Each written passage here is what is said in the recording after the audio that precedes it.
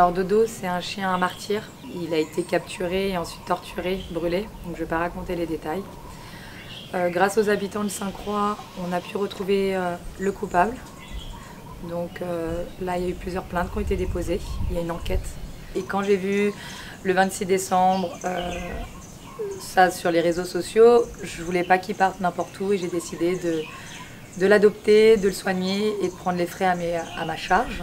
Moi, il m'a beaucoup pardonné, il m'a jamais fait de mal, mais là, par exemple, hier, j'ai demandé à une copine de lui faire ses soins. C'est des soins à faire cinq fois par jour, il a des gouttes, il a différentes crèmes, etc.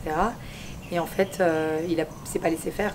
Et euh, il est aveugle d'un œil, l'autre œil, il voit très flou parce qu'il cogne souvent, mais son autre sens, donc son flair, il a retrouvé, euh, il a retrouvé son flair. Et ses oreilles, je pense qu'il est, qu'il est sourd.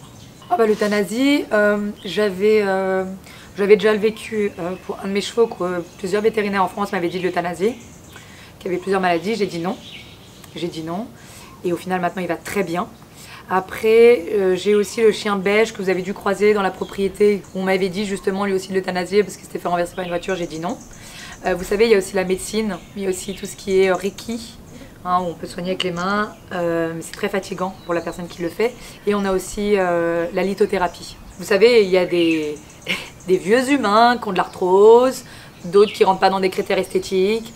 Euh, on a aussi euh, des personnes qui sont aveugles, sourds, et c'est pas pour autant qu'on va euthanasier l'humain. Alors oui, c'est peut-être mes propos vous choquent, je l'avais déjà dit auparavant, mais euh, pourquoi euthanasier un chien alors que le chien a envie de se battre et qu'il est réceptif? Oui, il a envie de se battre, il mange, il boit, il fait ses besoins, donc il est réceptif, et de jour en jour, on voit l'amélioration. par rapport à la cicatrisation, regardez, vous voyez bien, au niveau au niveau, vous voyez les croûtes, au niveau de sa peau, on a même quelques poils qui repoussent. Ici, ses yeux. Ses yeux. Ses oreilles, par contre, là, pour moi, l'oreille est morte, donc euh, je vais refaire euh, autre chose. Il y a des cas où on n'a pas le choix d'abréger la souffrance d'un animal. C'est injuste.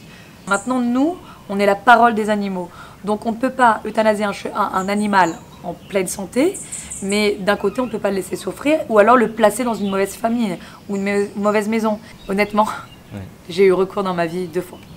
Euh, une fois, bah, Dentelle Mama, qui était gravement, gravement, gravement blessée, qui souffrait.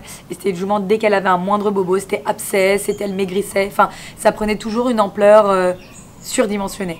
Donc, du coup, j'ai pas eu le choix d'arrêter ses souffrances. Mais je l'ai accompagnée jusqu'au bout. Elle est morte dans mes bras. Euh, et, le vétérinaire était là et on a fait. Et là, elle est enterrée dans mon jardin.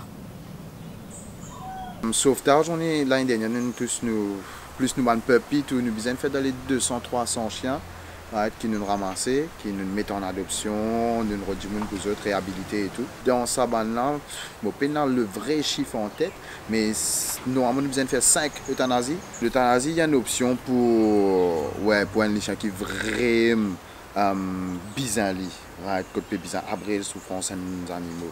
Ça, ça oui, right, mais pour dire moi, comme moi, les chiens fous, ils peuvent me dire, moi, besoin euthanasie, non, mais pas pourquoi là-dedans. Pour dire moi, les chiens seul, la bien fait euthanasie, non, pas pourquoi là-dedans non plus. Pas les chiens gagnent la fièvre, il peut, il fait, fait bien tomber d'un coin, il peut faire euthanasie, non, jamais d'accord avec ça. Mais, comment, il a les chiens, comment dire, bassin cassé, colonne vertébrale cassée dans l'hypapoutini tout au long de la soirée. Right? Et ça, c'est le vétérinaire qui confirme nous. Comment nous, vétérinaire confirme nous l'hypapoutini tout au long de la soirée parce qu'il est une cassée au lit. Mais oui, là, d'accord. Toute décision d'euthanasie, de, de, c'est pas moi qui prends la décision. Là.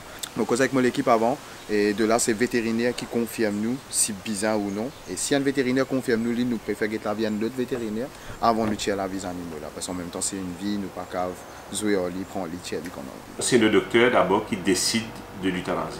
Il y a des chiens, euh, on lui demande souvent d'euthanasier. C'est pas tout le temps que le docteur va être d'accord euh, pour euthanasier. Le docteur va se baser sur quoi? Lui, bien sûr, si le chien a besoin d'être euthanasié. Donc, encore une fois, pourquoi un chien a besoin d'être euthanasié?